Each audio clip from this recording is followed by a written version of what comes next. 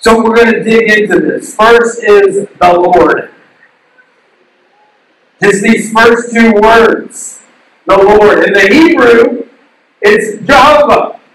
What we were just talking about, Jehovah Jireh. He says, okay, let's first just talk about Jehovah. Big G God, creator of the entire universe. The one back in Genesis 1 who just spoke. And everything that is natural came into existence from the supernatural. So let's start with who are we talking about in Psalm 23? We're talking about Jehovah, the big God. I don't know, sometimes it's helpful just to realize how small we are, that the world does not revolve around us, that everything, this is all about Him. Jehovah, the Creator, like if the Earth's axis was tilted just slightly, we all die. We couldn't exist. Like there's so much fine tuning. The way He perfectly created the universe, but if if the world is spun like just 10% faster, or or if we were just three tenths of one percent closer to the sun or further, like we couldn't exist. Everything is just exactly fine tuned the way it needed to be. An atheist scientist named Roger Penrose did a study. He calculated the likelihood of the universe having such a precise uh, design. And in his calculations, with all the constants that needed to be perfectly in place for life to exist, he calculated that it was a 1 into the power of 10 to the power of 10 to the power of 123. Some astronomical number that we can't even really name. The likelihood that the universe would have such precise design. It would be more likely to win the lottery 10,000 times in a row and be struck by lightning every time you won than for the earth to be this finely tuned. Science can, has, has, has learned this, but they can't necessarily explain like this big God that we know about. The Genesis, several thousand years ago, just said, yeah, he spoke it into being. I read this, uh, this journal article um, by, um, it was in a, a, Stanford Journal article. I want to read this to you because I just thought this was fascinating. This was a conclusion talking about how improbable it is in the fine tuning of the universe and our existence. It says, even if fine tuned conditions are improbable in some substantive sense, it might be wisest to regard them as primitive coincidences which we have to accept without resorting to such speculative responses as divine design or multiverse. So you, here you have basically science saying, hey, the world as we know it shouldn't exist. Like it's impossible that it exists with such fine tuning and such design. But rather than make this leap of faith to say that there's a creator behind it, let's take this. He says wisest. I thought that was an interesting term. Let's take this other leap of faith to say maybe there's a multiverse or maybe it just happened. We put in all the facts to say it's impossible. But we don't want to take that step. No, we know, we know the Lord. The Lord. He is behind it all. This is who we're starting with here. The Lord. Next word is. The Lord is. Not is going to be. Not was. You have a Savior. You have Jehovah who is present. Who is here who is now here. This is who we're talking about. It's not some distant thing, which gets into the next one. The Lord is by this big God who created this grand universe is very personal. The Lord is mine. He is with you and He knows you better than you know. He loves you more than you love you. He is my. Jesus said it like this. We talked about this last week, talking about the vine. He's the source. He said, Remain in me. Remain in me, and I'll remain in you. My desire is that you would produce much fruit in your lives. But you can't produce any fruit on your own. Separate from me, you can't. So he saying, let's abide here. Now, I love what Jesus says. He says in John 15, Now you are my friends. Oh, isn't that so nice? Friend. You are a friend of God. You are so much value, you have value to Him. He loves you. He's, you're not a, a slave to, oh, do this, do this, do this, do this. No, God, this God, Yahweh, loves you. He is my friend. You are my friend. He says, I have told you everything the Father told me. You didn't choose me. I chose you. I appointed you to go and produce lasting fruit so that the Father will give you whatever you ask for using my name. This is my command. Love each other. I couldn't hold that out. I love that part. Because we talk about love Los Alamos. You, when you think about Christianity, some of us say rules, rules, rules, rules, rules. There's all these rules. Do this, don't do that, do this, and if you don't, God's got you know He's is ready to strike you down. No, He's got there's one rule, one rule, one command: love, love people unconditionally, as I have loved you. That's the command. Everything falls underneath that. Jesus says, You are my friends. The Lord is my shepherd. Now, I don't know anything about shepherding. And I'm going to say most of you all do not either. We did not grow up uh, in the fields uh, shepherding sheep. So, commentators that I look into, we have to kind of, you know, look in and see, well, how do we shepherd? What does this mean? There's a whole lot of meaning in this in this book. I'll give you four D's. One is the shepherd was a deliverer. He was a deliverer. Now, if you could be any animal on the planet, what would it be? All right, you can just shout it out. You could choose to be any animal on the planet, what would what would it be? Dinosaur, dog, lion, a cat. Who's it? A cat? What else? Did somebody else say cat? Okay, we can't be friends. But a horse. All right. We, we all kind you know what's horse? Is it a, a giraffe? That's what our is. A giraffe. Um, it's inside joke. Um, nobody says sheep. nobody says I want to be a sheep. But it's important for our context. Sheep are not glamorous. If I were shooting for other things, I want to be a lion, a tiger, a shark, an eagle. I don't want to be a sheep. They're vulnerable. They're not smart. But he says, The Lord is my shepherd, and so we are his sheep. The sheep, I, I, they follow their cravings. They just follow their instincts. They see something shiny. They're like, oh, look at that shiny over there. I want that. And then they're over here. Oh, I want this. And they're, they're, they, they, they, they, they go wherever they want. They're not necessarily smart, and, and they're always in, in need of help. It's kind of like I, I kind of as I was coming this day. I love my boys. I love my kids. I love being a dad. We took a, Father's Day trip to Albuquerque this week to go watch the Isotopes game and then go play some Topgolf. I was I was all excited. We get to the Isotopes game, ready to walk in, and my son, whom I love, I didn't bring my shoes. Where are your shoes? Why didn't you bring your shoes? How did you get in the car without your shoes? We're going over that. Like, so I'm piggybacking them around, um, carrying my my nine year old around because you know, and then he's shouting at everyone we pass by, saying, "My dad's so much fun!" And he's just, you know, whatever, whatever. I love him. I love him.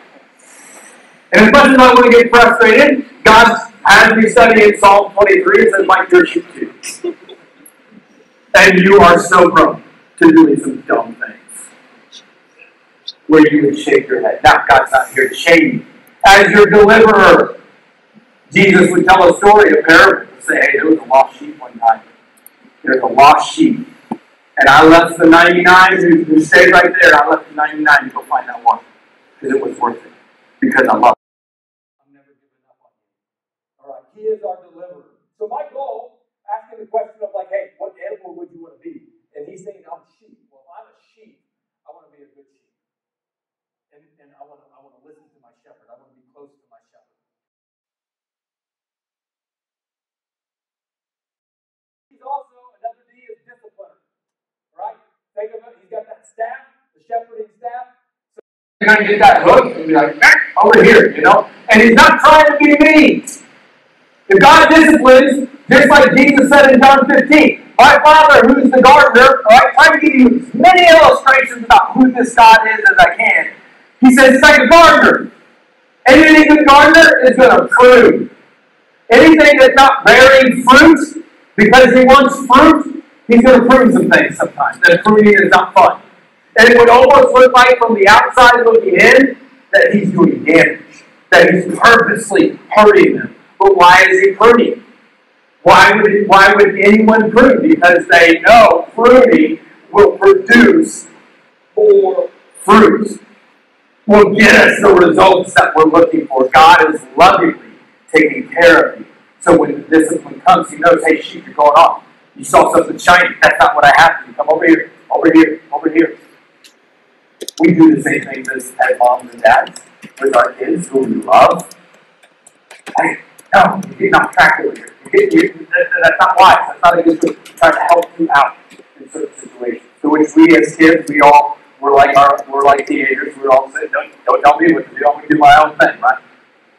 We all did that. We all did that. But on the other side, we know what we're trying to do. Number three is the, the defender. All right. As a shepherd, they were also a de- defender. So he's got that sack, the, the shepherd's staff, like Napoleon Dynamite. I got bow staff skills. Like he's ready to go. There's no enemy, there's no enemy that is going to snatch you out of God's hands. He's got you. Now the enemy, he will come after you. He will try to tempt you, distract you, discourage you, get you far away from God as he can so you cannot produce fruit. But, but with God on your side as your shepherd, he was going to protect his flock at all costs. So he would all, I mean, the best way to stay protected was to stay close. Who is the enemy going to get? The one that's not planted close, the one that's astray, the one that's far off. If I'm a good sheep, and I want to be a good sheep, and I feel like I'm away from God right now, the best thing you can do is get yourself right into the middle of the flock, close to the shepherd. Hello, planted July 1st through July 31st. We're going to plant ourselves in with the rest of the flock, and we're going to get into the word next to the shepherd together. The fourth D is the director. He is the director. It says, I am the good shepherd. I know my own sheep, and they know me. They will listen to my voice, and there will be one flock with one shepherd. With so many competing voices in our lives, which one is the most dominant for you?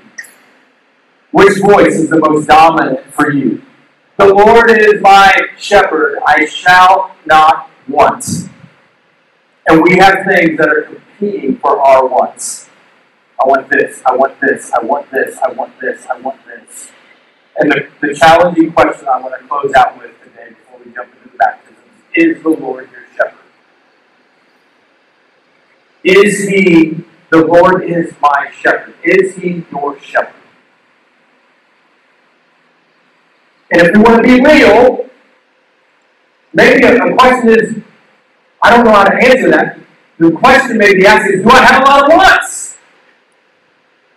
If I have a lot of wants, the Lord may not be my shepherd. I'm chasing after, I'm striving after, I want the success, I want the career, I want the popularity. I will, I will do what I want, when I want, how I want, where I want, and no one's going to tell me anything different. And that is how the dominating voice in my life is my wants. He may not be my shepherd because he is my shepherd. I shall not want. I have wants. I have wants. But I'm going to bring it to my shepherd, to my Savior. and I'm going to trust Him. He makes me lie down in green pastures. He leads me beside quiet waters. I like that He makes me because none of us know how to rest. Sometimes you might get sick or something like that. He's like, all right, fine, you're going to rest. Body needs to shut down. No, He knows the environments that you need to refresh your soul. He's a good shepherd. And he's going to take you, hey, this is going to feed you. This is going to fill you up. Even though I, I, I walk through the darkest valley, I will fear no evil, for you are with me. Your rod and thy staff, they comfort me. Now listen, he doesn't say, follow me and I'm your shepherd, you're never going to walk through. He doesn't say, yeah, it's, it's, a, it's an, it will happen. You know this because you've been in some valleys. You've been in some, but he's with you and he's present. He's saying, I'm present, I am God who is with you now in those moments, in those hours. That's where growth, that's where maturity happens in His presence. Uh, you prepare a table before me in the presence of my enemies. You anoint me with oil, head on my oil, my cup I don't have time for all this. This is so good. I, a table for me in the presence of my enemies. Just think about that. So many of us, we have this blessing, this, this blessing that's there for us in the presence of our enemies.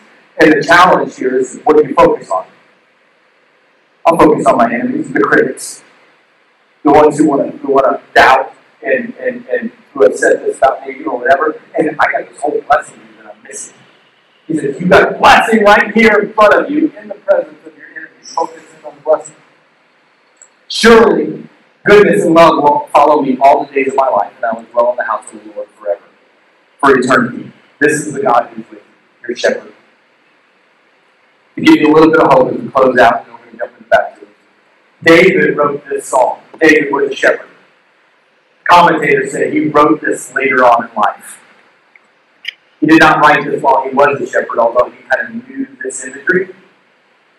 David, later on in life, perhaps he wrote this when his son Absalom was trying to kill him on Father's Day. Oh, that's a great Father's Day. That's my son's trying to kill me. This is David who's by saying, even in the worst of circumstances that you're facing right now, even in the hard moments of life, Kathleen and John, you know this, you're going to face some hard moments. I want you to know that the Lord is your shepherd. He is with you, who loves you, who is guiding you. You can trust him. That's what he's trying to say. Wake up! Wake up. You can trust me. I am Jehovah Jireh, provider. I know it doesn't make sense. I know the circumstances around doesn't look like it. Will you follow me? Will you take your next step with me? Because I'm with you all the way. As we go to take as we go to take baptism, I got to share one baptism verse. This is when Jesus goes to get baptized. Jesus goes, he gets baptized, and uh, when he comes up out of the water, the Father gives us a glimpse again of who he is. It says, as soon as Jesus was baptized, he went up out of the water. And at that moment, heaven was opened. And he saw the Spirit of God descending like a dove, alighting on him. And a voice came from heaven and said, This is my Son, whom I love. With him I am well pleased. I love this because that last part, whom I love, with whom I'm well pleased. Up to this point, what had Jesus done in his ministry? He did nothing. He hadn't accomplished his mission. He hadn't healed anyone that we know of. Hadn't done anything miraculous. Yet the Heavenly Father looks at him at that moment and says, This is my son whom I love. He's saying the same thing about you today. You don't have to earn it with God. This is grace. When we celebrate baptism, you're going to hear the stories here in a few seconds. When we celebrate, we're not celebrating any achievement on our part. Hey, this is what I've done. Look at how great I am, or anything like this. It all revolves around God and Jesus. Jesus is the one we're celebrating. We're celebrating the work of Jesus in our lives. He saved us. And so baptism is simply a symbol to say, this is what God has done in my life. He saved me. He is my Lord. He is my shepherd. I'm going to follow him no matter what. as best as I can, as best as I know how. And that's what I'm committing to today. Thank you so much for taking the time to listen to the message today. I hope you felt inspired to take your next step of faith with Jesus. Just a couple next steps that you can take coming out of this. One, leave a review or a comment or share this message. That really does spread the message further and faster when you do that. Secondly, if there's a next step that you need to take coming out of this, head on over to our website, click get involved, and let us know exactly how you can take your next step. We would love to partner with you in that. And finally, if you have been impacted in a positive way through our ministries or your family has been impacted in a positive way through our ministries, go on over to our website and click give. And if you want to partner with us financially, that would be huge in getting the message of Jesus out through our ministries. Thank you again for stopping by the podcast. Have a wonderful week. God bless.